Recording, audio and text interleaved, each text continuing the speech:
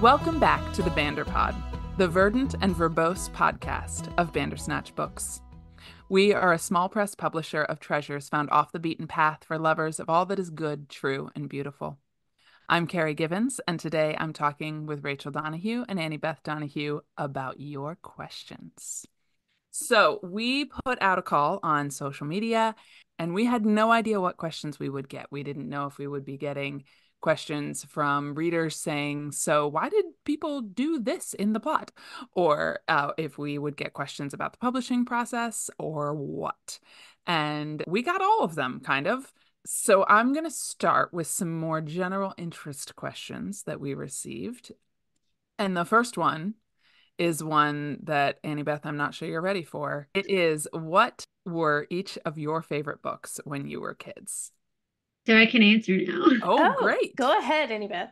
So the reason that I didn't have an answer for this question is because I like lots of books. But if we go way back, my favorite books were comic books. I had a lot of very large Archie comic book collection. Hmm. I had a lot of Garfield. I had Calvin and Hobbes. As I got older, I had Foxtrot, which was really probably one of my ultimate faves. And then, of course, Agatha Christie. Hmm. When did you start reading Agatha Christie? Do you remember? I do. I was in, well, I was definitely in fifth grade. I may have been in fourth grade. Yeah, that's probably about when I started as well. That's really fun. Yeah. The ones that stand out from my childhood are the Little House on the Prairie series.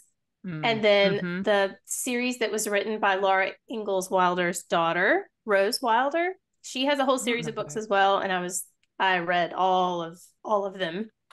Nancy Drew series mm-hmm. was a really big one when I was a kid. Loved the Nancy Drew mysteries and Shel Silverstein. Mm-hmm. Was, yeah, I think that's mine. I, and I've talked about this before, but I was not a huge reader until I hit fourth grade. But my breakthrough books were the first three of the Anne of Green Gables series. Hmm. Part of the reason that I, you know, became a reader was we moved to Hong Kong and there wasn't much TV. Um, mm-hmm. There were mm-hmm. only two English channels, and one of them was the BBC News. So I wasn't watching that one, and the other one was whatever American series they had purchased that week. so I started reading books, and the apartment that we were subletting had those three Anne books as a as a box set, and started loving Anne. So that's mm. that's definitely a huge one, and I read tons of L.M. Montgomery throughout middle school. Mm. Another one that I remember reading that year that stuck with me is called The Cay. Um, it's C A Y. Yeah. And it's it's that. a historical fiction. A boy, Dutch boy, is uh, shipwrecked in in the Caribbean on an island during World War II. Like they're trying to get back to the Netherlands. it's it's an amazing book. And then like Tuck Everlasting was another one that I loved mm. that year. Yeah, there's a lot of books that are really formative that I know that I read in fourth grade. um, did Did you all read Charlotte Sometimes? No, no, I've never heard of it. This was actually one of my favorite books. There was a girl who I think she was at boarding school. It may have been a hospital. It was something. So she was sleeping in a bed, and like sometimes she would wake up in another time period. Mm. Oh, like that was really fun to me. Yeah. I think it was the time travel aspect, but it was called Charlotte sometimes because sometimes she was Charlotte herself and sometimes she was maybe this other girl. Oh, that's so fun. How interesting. One other series that I adored and I read for the first time in fifth grade was the Bruno and Boots books, which are by Gordon Korman. They're also called the Macdonald Hall books. And it's a boys' boarding school. And Bruno always gets everybody, you know, has a harebrained idea and gets everybody involved in whatever adventure he is about to have. And they are absolutely delightful. I love Gordon Korman. So, anyway, we could talk about books all day. Um, yes. so we we will move on to the next question, which is what are your favorite allegorical fiction pieces? Oh. So, how do we define allegorical fiction? I think you get to define it as how your own heart mm. feels. Have really enjoyed the Little Pilgrim's Progress book, mm-hmm. the new one that's illustrated. I really enjoyed that version much more than the original. the original's hard to. It's it, it was a bit through. of a slog for all yeah. of us, and we little, made it through. Little Pilgrim's Progress as Joe Sutphin illustrations. Yes, so and Joe Sutphin does an amazing job uh, illustrating the whole thing. So we enjoyed that one a lot. Um, it's not really allegory, but I'm gonna I'm gonna pull you out here, Carrie, and say the King's Messenger was one of my favorite. It's not pure allegory, but it's such a beautiful picture of like the spiritual life, but it's set concretely in this world, this kingdom. We always describe it more as parable-ish more than allegory, but I I love that story. I'll take that. I'll take mm-hmm. that. I heard someone call it allegory-ish. So there you go. well, yeah, I mean if we get to include that one, then that's probably my favorite, you know. Yeah, I mean King's Messenger. It should be. It should be well, and, and King's Messenger's a book that I wrote over the course of many years, and it was one that each one of Smuggin's adventures is tied to something I was learning in my own hmm. walk. Mm-hmm. I do think that there is there are definitely allegorical elements in it. Yeah, it's a good one, and you can buy that from Bandersnatch Books, ladies and gentlemen. Just gonna throw that out there. Nice, nice. All right, let's move on. So this says, keeping in mind your good, true, and beautiful mission, what is something you look for in the protagonists of the novels that you publish? Mm. I will say the message of the good and the beautiful is lost if the true part is missing. For me personally, that's probably the thing I look for the most. Yeah. I think a character who's authentic. Mm who's really wrestling with real world problems or if it's a, a romance it deals with the the real complexity of relationship mm-hmm. and i think that's one of the reasons i have, have enjoyed lauren's trilogy the daughter of arden trilogy so much because her characters they're complex and there there are layers there and so mm-hmm. i think that's something i appreciate when i'm reading yeah yeah. So I read A Place to Hang the Moon mm. just this last year. And the thing I have said about it to everybody since I read it is I cannot remember a book that I wanted so much good for every single character. Mm. Not just my protagonists, but even the, you know, quote, villains of the story. I wanted the best for them. I wanted them to be redeemed. Mm. And I think that is something I've found in, in the books that we have picked up. It's characters that I want good for. Mm. You know, and, and I think looking forward, we've got Mari and the Margins coming out mm. um, soon. And that's one of the things that drew me to Mari from the get go was yeah. I just wanted so much good for her as a character. Mm. Mm-hmm. Um, and so I, I don't know exactly, you know, what qualities of the character that means because I think it can happen for very, very different kinds of characters. But being yeah. able to place them in a story and present them to me in such a way that I want their good, mm. that really draws me in. Mm. Yeah. Yeah. All right. So, last question, which is again sort of halfway between interests and Bandersnatch policy. Are you looking to mainly publish series or are you open to standalones? I think, I mean, quick answer both. yeah, both. All right, so let's move into how we do things. This question I thought was really interesting when you were setting up your publishing company, how did you figure out the logistical details like who your printer would be, prices, illustration, cover artists, etc.? Is there anything you wish you had done differently at the start? And then there's a follow-up or a second question that says how do you find book printers? So let's let's talk about that kind of all together. So logistics. H- how did mm. we hmm. figure those out, guys? Google. Yeah. yeah, I I mean printers in terms of how did we find book printers? Talking to other publishers was huge and shout out to my friend charlie hurd at uh, clc publishing because i sat down with him one day and was like okay so how big are your print runs? And they were about the size that we were thinking of and i was like okay who do you use? And he gave me mm. two or three names of people to reach out to to start asking questions because i had talked with another publisher who'd given lots of great insight. But when I asked, you know, when I got down to the nitty gritty of like, how many books do you publish at a time? They were looking at 15,000. And I was like, oh, you're a little bigger than we're we're looking at. and so I was, I was like, that you're probably not going to be the person I ask for those logistical details. How we come up with pricing is a direct, uh, it comes directly from print price, mm-hmm. really. Mm-hmm. You have to look at your print price, and and that is affected by how big of a run you're printing. You know, the fewer books you print, the more it costs per book to print.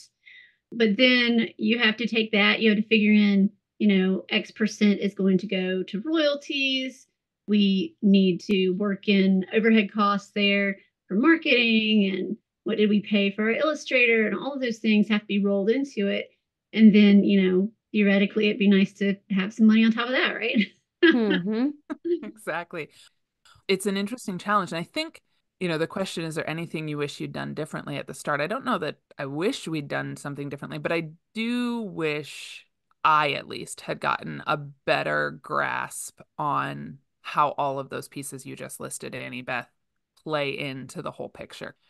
I will say a shout out to Mick for helping us develop a spreadsheet mm-hmm. to lay out our costing structure for each book where we can just plug in numbers for the cost of the cover art or the illustration, the print costs and shipping costs at different um, price points. Like if we get 500 or a thousand copies, um, what does that breakdown look like? And with royalties plugged in, what is our our base price to break even? What can our wholesale price be? And even that spreadsheet as wonderful as it was at the beginning has evolved as we've been learning through this process right. and we're like oh wait here's another factor we need to work in right and so that has been helpful. I kind of wish we'd had the more complex version on the first book at the beginning. I think, yeah, absolutely. Just two cents. Mick is your husband who yes. is uh, I I refer to him as our you know our Bandersnatch what's the word I'm looking for consultant on call.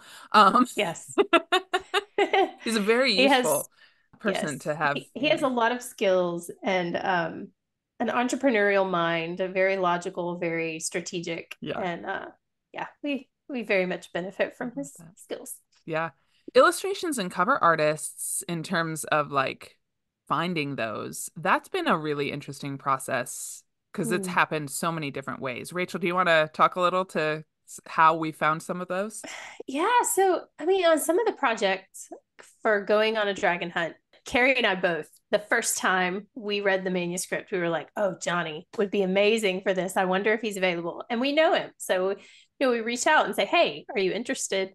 But then some of these people are people that we've met through social media. Mm-hmm. Um, the lady who did the cover of my poetry book, Beyond Chittering Cottage, I think I met her through the Hutchmoot homebound groups. Like mm-hmm. there was a mm-hmm. thread, and she does a lot of lettering, like hand drawn lettering and art. And I was just enthralled with her work and said, Hey, could we get her to, to help us with cover design? It was amazing. Her her work is so beautiful.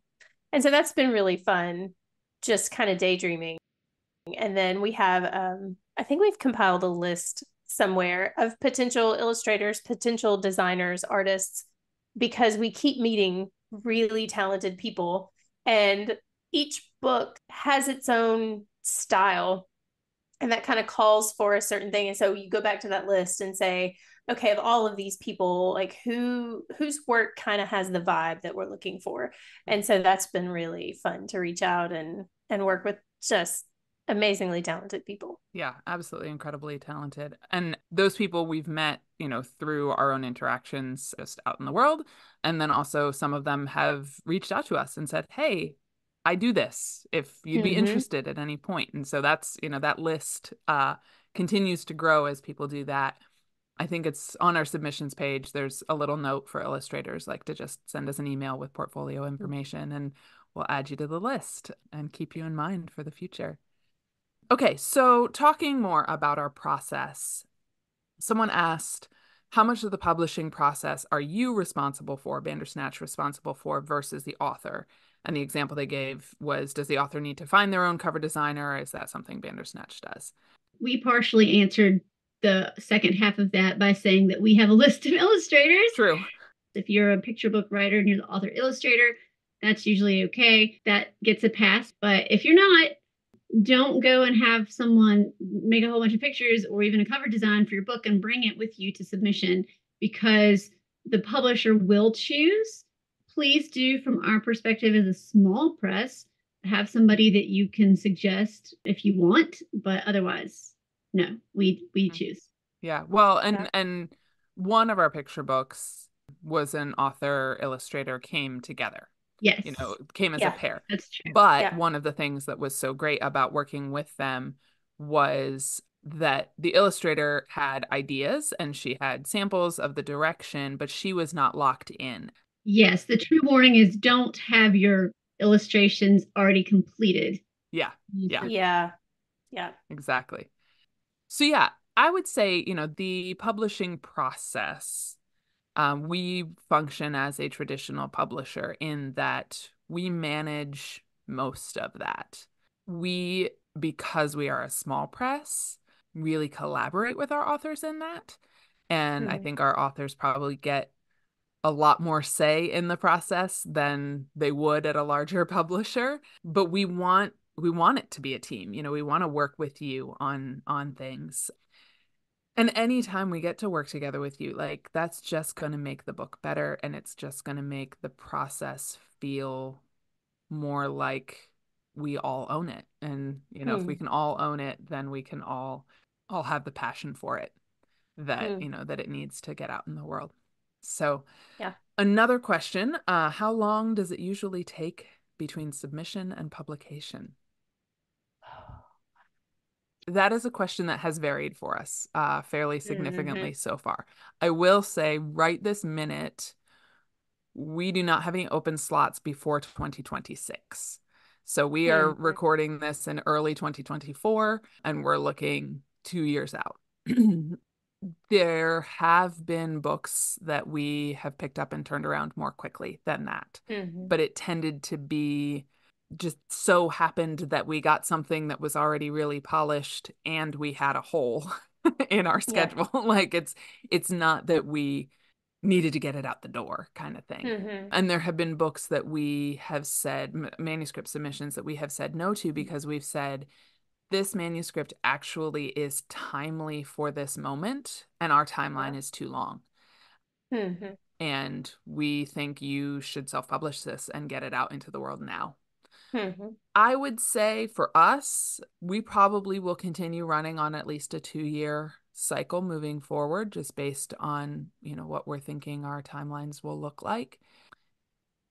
And that is standard to short yeah. for the publishing industry mm-hmm. timeline for for how traditional publishing functions. It's a long process. Mm-hmm.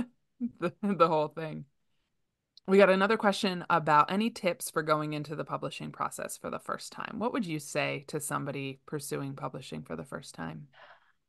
My biggest tip is please polish your manuscript as much as possible before you submit it. Do not rush into the submission process. I would even say if you have the cash, hire an editor to go through it. Beta beta readers are great, but you know, it it really does make a difference because, as Carrie was saying, it takes a long time to publish a book. It's a very involved process, and the more work the publisher has to do on your novel or your book, your picture book, whatever, to get it out there, the less likely they are to publish it. When something comes to us and it's in great shape, and all we have to do is fine tune and make it sing, then that's when we're saying, yes, yes, yes. If it's if it's a great idea, but it's just not quite there yet, and it needs a heavy developmental edit, that's when we're going to say, mm, we probably don't have the time. Yeah. We function real lean here at Bandersnatch. Like we don't have a big staff. Uh, our, mm-hmm. our staff is basically on this podcast. Um, and that includes Sam, who is recording yes, for thank us. you, Sam. yeah, I would say be prepared for the answer to be no. Mm. So if you get a no on the, you know, your first time out there, don't quit. That doesn't mm. mean that your writing is not worth it. It doesn't mean that the effort is not worth it. Keep going. Not every publisher is going to give feedback. We've tried to make it a practice to to offer some points of insight of to help the author understand like why we're saying no why is it not a good fit where might it be a good fit or what does this manuscript need? Like what are you seeing? And so i'd say just just kind of gird up your loins be ready. Yeah i think i mean i think that is such a huge thing like be prepared for the answer to be no. I i think of so many published authors well-known famous authors with their one, you know, most well known manuscript had been rejected, you know, 20, 30, 40, 50 times. A Wrinkle in Time was rejected by 50 publishers. There you go. Case in point. Exactly. and so when you have something good and you mm-hmm. know it's good, persevere. Mm-hmm. And also be open to feedback if it's not ready yet, because there's only so far that you can take a manuscript on your own before you get other people looking at it. And so it might be that you, you know, I don't know, it it just depends on what the manuscript is, but yeah, and if once you get a yes, I think, you know, into the publishing process, once you get a yes, that doesn't mean your manuscript's finished. no, it does not. you know, and and I think yeah. that is that's another thing, like be open to being edited. Be open to other eyes on your work and developing your work because the thing is Uh, it's probably a fairly blanket statement that a publisher doesn't want a book to fail. Right. Right. Like right. i think you know when you get to the massive publishers there's ones that sort of they don't put a lot of effort into making them succeed. But even those that it's not that they want them to fail. You know every publisher wants the book to find an audience as much as the author does. Mm-hmm. And so, you know, recognizing that your editorial team, your creative team, your, you know, visuals, etc., they're all aiming for the same thing you are, which mm-hmm. is to have your book be a success. All right, so we had we had many many questions about when we are opening for submissions. so Rachel, when are we opening for submissions? I think we are going to have the capacity to open up submissions toward the end of July of this year. And we will be looking for titles that will publish in 2026. Yeah, yeah. I'd say look for it starting middle to the end of July of this year. If you are not on our email list, that's the place to be. We will announce when we open submissions to our email list first. And then we're probably only going to open that window for a couple weeks this time because we have a very limited capacity. so, yeah, keep an eye out for it. And Annie Beth, we got a couple of questions about when we are opening for picture books. Um, we were not open for picture books this past season in 2023. So, what are our thoughts about picture books this year in 2024? We are not going to be open for picture books in 2024 we're sorry. oh, I wish we could. Yeah, yeah, we wish we could. And and some of that is just it's the limitation of space in our catalog and in our, you know, our schedule. Picture books are are expensive to make, and so we have to limit how many we can make each year. We will at some point again open for picture books. Yeah. that that will happen. So keep again, email list is a great place to keep your eyes out for that. Mm-hmm. Um, so we also had a question about a specific genre, um, historical middle grade, and even particularly historical middle grade with disability representation. And would we be interested in something like that? I think that sounds real cool. I think so too. with disability representation, we've already published books with disability representation. So that's definitely a category that we're open to. The caveat is that I would personally ask that it be accurate to two things one, the disability, mm-hmm. and two, is it going to be accurate to the time periods? So do your research and make sure that anything you're saying about that disability or how it might be treated in that historical time period is accurate. Mm-hmm. Yeah, that's mm-hmm. great. All right. We are coming toward the end, but there's one last thing we must discuss. we have a lovely beastie on our Banderpod.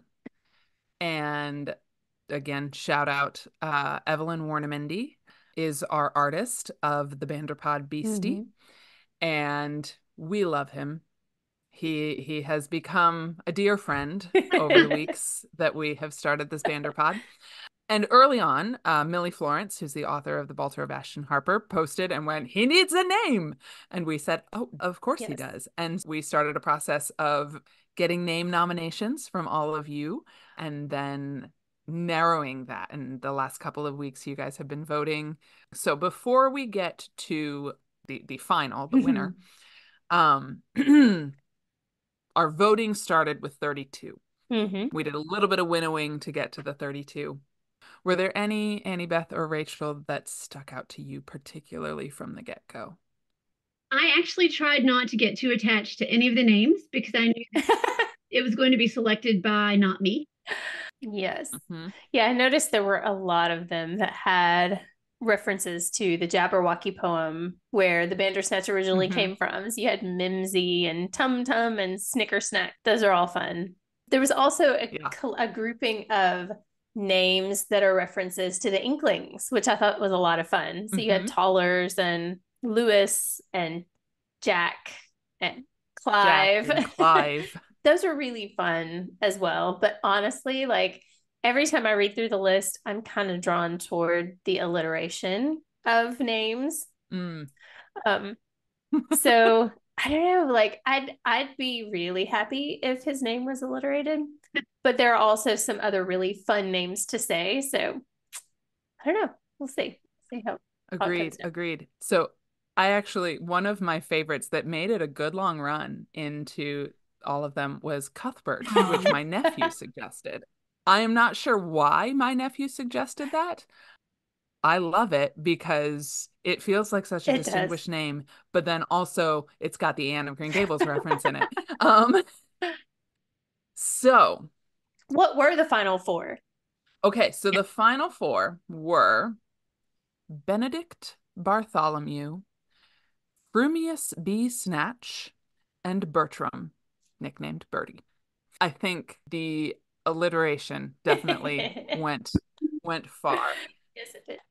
As I was counting up votes today, I actually was oh my goodness, is there going to be an an upset? Is it going to be overturned because they were so even? Oh wow. However, when I did all the math, well, I say I, when Google Sheets did all the math for me, um we do have a winner. and I would like to note that um, my friend Tim Hurd made an excellent argument for this one on Facebook because he looked at the etymology of the name the name is, and this was suggested by our friend Kelly Keller, it is Benedict Bandersnatch. yes, so the the etymology comes from bene, Latin for good, and dict, Latin for, you know, dictus or di- I don't know exactly dictum, um, but word. So uh good word Oh. So I mean, for a Banderpod beastie, I feel like it's kind it's of amazing. Yeah. name. Um, oh, I love it. It also has the added benefit of referencing Benedict Cumberbatch because no one can pronounce his name, and Benedict Bandersnatch is definitely on the list of things yes. that people have mispronounced. So I'm up for that. I love it. I feel like oh, he would look good it. in it's our beastie's hat. Yeah. Oh, he would. Yeah. Anyone Definitely. ever needs to play the Bandersnatch Beastie, he has he go. can be a Bandersnatch. But Benedict is our Beastie. Yay! Love it. All right. Well, thank you all for joining us and for being supporters of Bandersnatch books. And we hope that you find bookish treasures in your wanderings off the beaten path. Thanks for listening in to our conversation today on the Banderpod. We hope you'll check out our full catalog at bandersnatchbooks.com. The Banderpod is produced by Rachel S. Donahue, A.B. Donahue, and Carolyn Clare Givens. Audio engineering by SDG Morgan. Artwork by Evelyn Warnemuende. Many thanks to our friend Chris Slayton of Son of Laughter for our theme song, Cricket in a Jar. Find links and more in the show notes.